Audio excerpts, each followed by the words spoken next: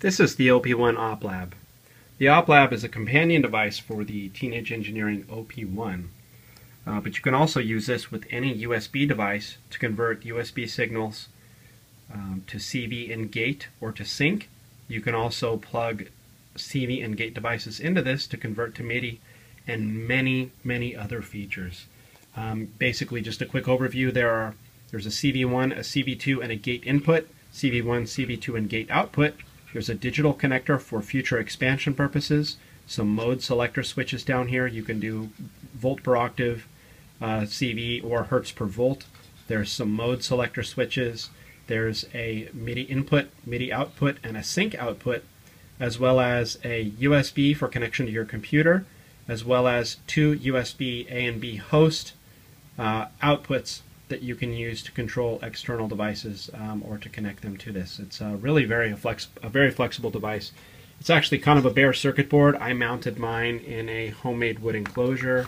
The OpLab um, can work with any external CV gear, uh, CV gate gear, analog gear, legacy gear, heritage gear, anything that you have. It can work with Eurorack systems, modular systems, but um, for the purpose of, of using it directly with within the teenage engineering um, design environment, they've also got some sensors for sale. So, for example, here's the Poke sensor. Poke is a pressure sensor. There is a flip sensor. Flip is an accelerometer, much uh, exactly, I guess, in the same vein as the one that's inside the OP1. And there's some differences with how you can use flip versus the one inside the OP1. And then there's tap, which is a piezoelectric sensor um, that you can trigger sounds just by tapping on it when connected to the OP1. You can use these sensors with the OpLab to control other external gear, but in the examples I'm going to show you today, I'm actually controlling the OP1. So this is the OpLab. It's hooked up uh, via USB to the OP1, and I have the flip sensor plugged into CV input 1, and it's set on mode 7 sensor mode. Just want to show quickly what you can do with the flip sensor.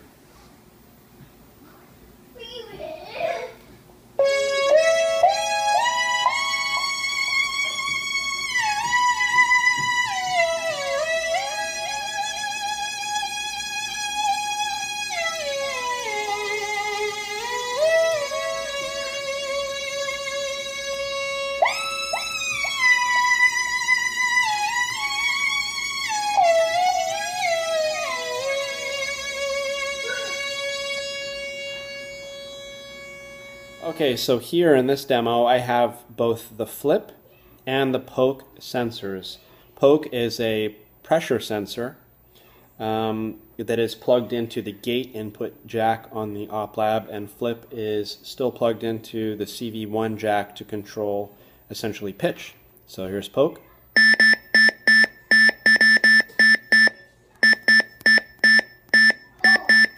So you can see that that's triggering the, the OP1. And then here's flip. Let me do it this way.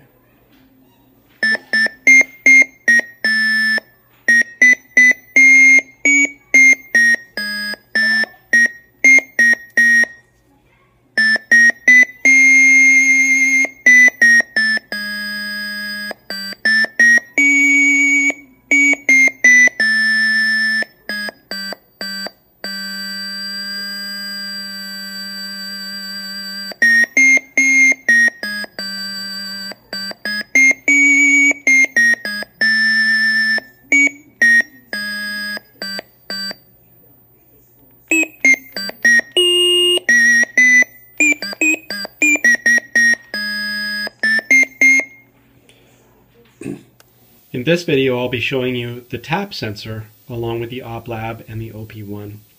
Um, and to change things up a little bit, we're also going to get into the flip sensor. But the tap sensor is a um, piezo electronic uh, sensor inside. You tap, and uh, it's plugged into the gate input of the OpLab. the tap sensor will trigger a percussion sound. You can also trigger synthesizer sounds. So if we use the flip, you can control the pitch. Flip is run to the CV input, CV1 of the OpLab. But let's go back to the drum. The drum is really where this is exciting. Um, So you can see I've got a snare going, and because it's a drum, you can use drumsticks.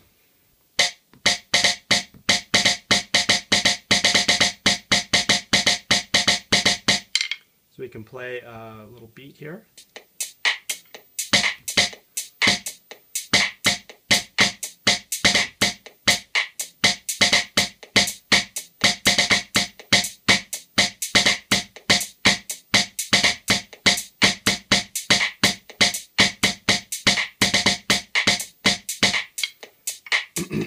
quick little example. One of the other really useful things about also having flip here is with the drum kit, you can use flip to change the note that you're triggering.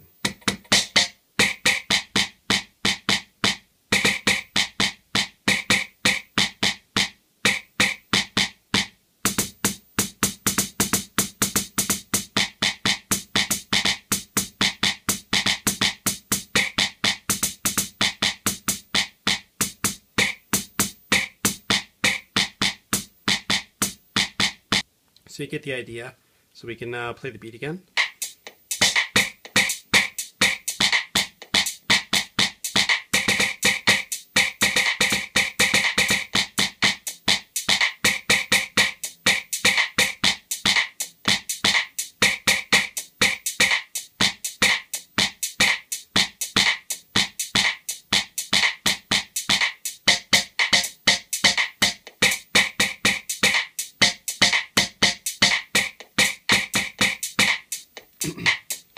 Pretty cool what you can do with tap and flip along with the OpLab and the OP1.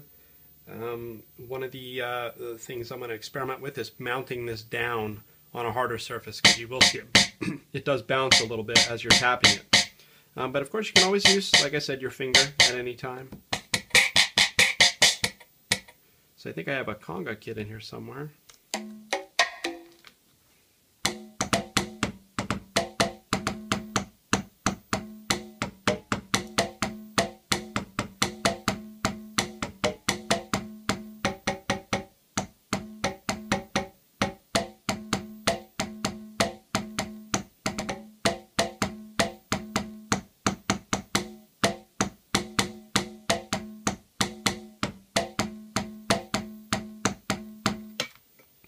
So with uh, Latin percussion, in particular, um, a drum like a conga or a bongo, you could actually sample that drum with different ranges of tonality, increasing across the drum sampler. So as you tap and tilt flip, you can increase the tonality based on what, however you sample your drum um, as you play. So instead of changing um, drum samples, you could actually have a bunch of samples of the same drum in different tones and textures and navigate through them with flip and tap.